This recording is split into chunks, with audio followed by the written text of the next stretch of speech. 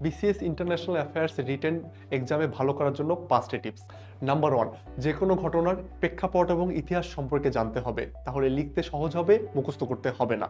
Number two প্রয়োজনীয় ক্ষেত্রে অবশ্যই উদাহরণ দিতে হবে। নাম্বার থ্রি বিশ্বে কোথায় কি হচ্ছে, কীভাবে হচ্ছে, এই সম্পর্কে আপডেটেড থাকতে হবে। নাম্বার ফোর অপ্রয়োজনীয় ডাটার পিছনে না ছুটে কার্যকরী তথ্য লিখতে হবে। নাম্বার ফাইভ সবচেয়ে গুরুত্বপূর্ণ পয়েন্ট হলো খাতায় সঠিকভাবে উপস্থাপন করতে হবে।